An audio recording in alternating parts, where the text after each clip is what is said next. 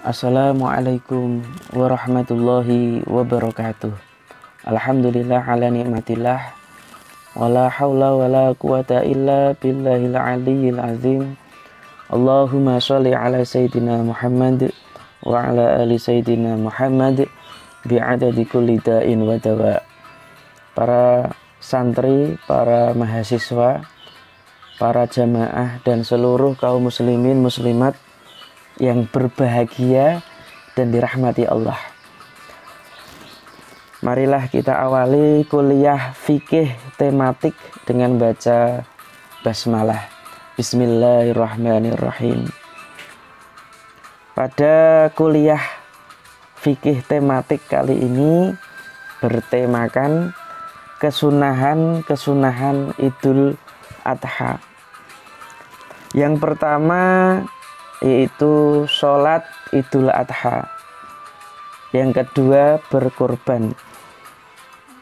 Ini berdasarkan firman Allah Subhanahu wa taala di dalam tafsir eh, dalam surat Al-Qur'an ayat 2 ya. Bismillahirrahmanirrahim. Fasolli li rabbika wanhar. Maka sholatlah kepada Tuhanmu dan berkorbanlah. Apa makna sholat di sini? Di dalam tafsir atau bari hadasana bin Hamid qala sana hukam an Abi Ja'far anir Rabi fasolli li rabbika wanhar. Qala idza sholaita yaumal adha fanhar.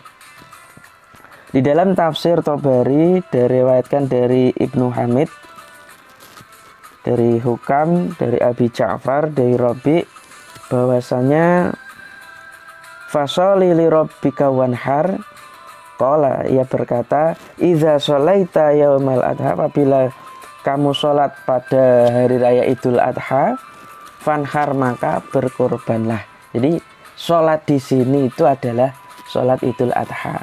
Hukumnya sunnah yang kedua tafsir Al-Baghawi wa qala Ikrimah wa Atha wa Qatadah fa sholli li rabbika sholatal Id yauman nahri wanhar nusukaka. Dari tafsir Al-Baghawi dikatakan dari Ikrimah atau Qatadah berkata maka sholatlah untuk Tuhanmu yaitu sholat Id pada hari penyembelihan atau hari apa menyembelih kur, hewan kur, kurban wanhar nusukaka dan berkorbanlah untuk manasik hajimu. Di dalam tafsir Jalalain fasoli li rabbika yaitu sholat idil nahari wanhar nusukaka. Ya, dimaksud dalam perintah sholat di sini yaitu sholat idul adha dan atau itu nahar ya. Dan berkorbanlah untuk apa manasik haji. Jadi sholat idul adha berkorban hukumnya adalah sunnah. Kemudian yang ketiga yaitu mengumandangkan takbir. Faistahabu takbirul al-mursalu bihuru bisyamsi fil idaini jami'an. Wa yustahabu istihbaban muta'akkadan ihya ulailatil idi bil ibadah. Disunahkan mengumandangkan takbir pada malam hari raya mulai terbenamnya matahari dan sangat disunahkan juga menghidupkan malam hari raya tersebut dengan beribadah. Jadi takbir di sini disunahkan mulai maghribnya tanggal 10 Zulhijjah ya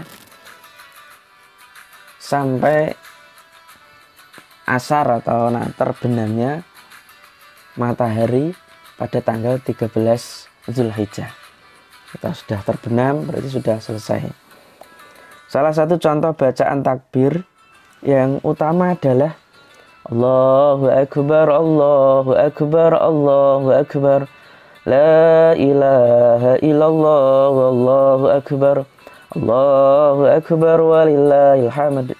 الله أكبر كبيرا والحمد لله كثيرا وسبحان الله بكرة وأصيلا لا إله إلا الله ولا نعبد إلا إياه مخلصين له الدين ولو كره الكافرون لا إله إلا الله وحده صدق وعده ونصر عبده وهزم الأحزاب وحده La ilaha illallah wallahu akbar Nah begitu Ini dari Syekh Ibnu Hajar Al-Haytami dalam kitab Tuhfah Tuhfatul Muhtaj juz 3 halaman 54. Kemudian yang keempat yaitu menghidupkan malam Id dengan ibadah. Dari hadis Rasulullah Shallallahu alaihi wasallam, "Man ahya lailatal idi lam yamut qalbuhu yauma tamutul al-qulubu."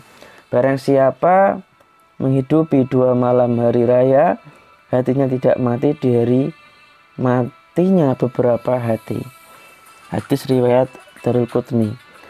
Jadi menghidupkan malam Idul Adha kalau Idul Fitri ya, karena ada dua hari raya itu dengan ibadah.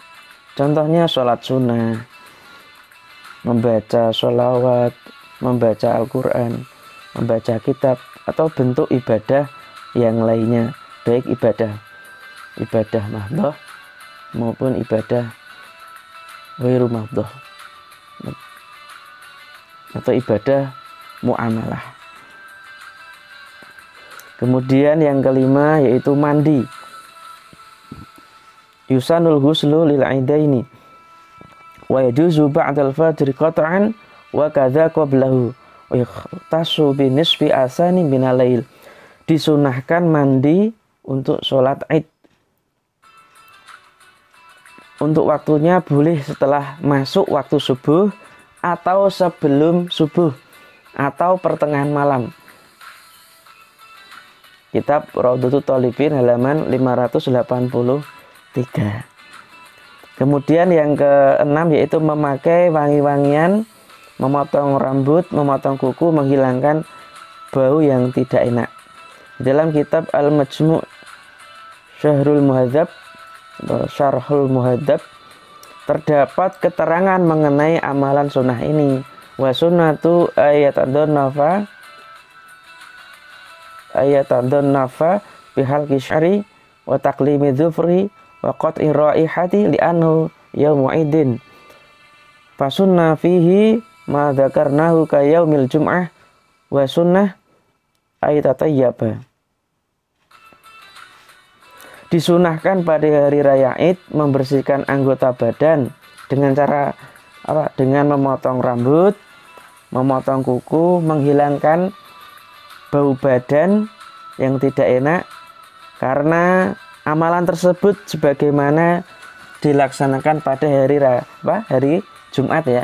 Ketika mau Jumatan itu dan disunahkan juga memakai wangi-wangian.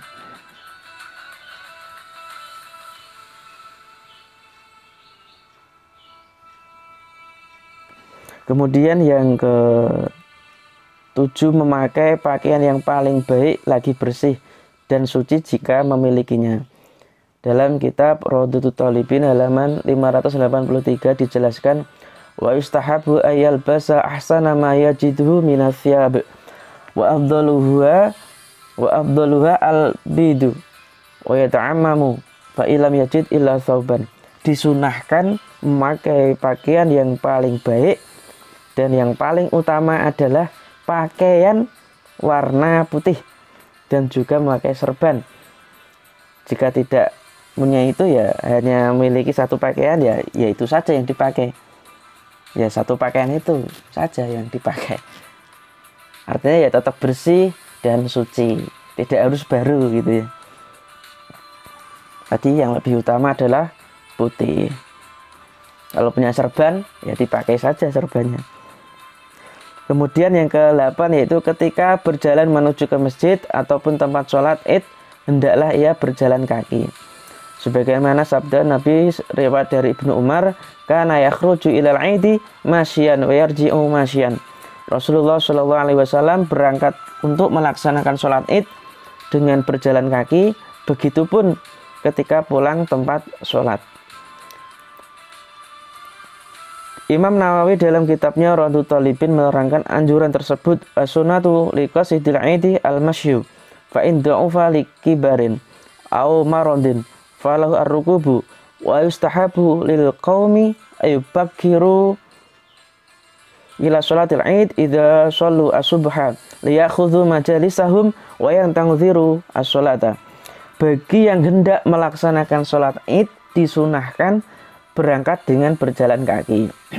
Sedangkan untuk orang yang telah lanjut usia atau sudah sepuh, ada tua gitu, atau tidak mampu berjalan maka boleh menggunakan kendaraan motor, mobil, atau yang lainnya. Disunahkan juga berangkat lebih awal untuk sholat id. Setelah selesai mengerjakan sholat subuh.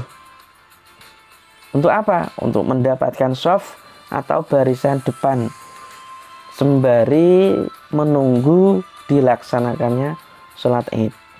Yang terakhir yaitu makan setelah selesai sholat. An Buraidah radhiyallahu anhu qala kana Nabi sallallahu alaihi wasallam la yakhruju yaumal fitri hatta yat yat'ama wa yauman nahri la yakulu hatta yarji'a. Diriwayatkan dari sahabat Buraidah radhiyallahu an bahwa Nabi Shallallahu Alaihi Wasallam tidak keluar pada hari raya Idul Fitri sampai beliau makan. Jadi kalau Idul Fitri itu Rasulullah sebelum berangkat sholat id beliau makan terlebih dahulu. Sedangkan pada hari raya Idul Adha beliau itu makan dulu sehingga beliau kembali ke rumah. Maksudnya makan itu setelah sholat id sampai beliau kembali ke rumah ngatain ya ada kesalahan sedikit tadi jadi kalau hari raya Idul Fitri kanjeng Nabi makan terlebih dahulu sebelum berangkat ke masjid. Sedangkan kalau dalam hari raya Idul Adha setelah sholat id kanjeng Nabi baru makan. Itu mungkin yang dapat saya sampaikan untuk kuliah fikih tematik pada kali ini. Kurang lebihnya mohon maaf. Sampai ketemu di kuliah fikih tematik yang lain. Ihdinas syiratal mustaqim. Wallahu muwafiq ila wassalamualaikum warahmatullahi wabarakatuh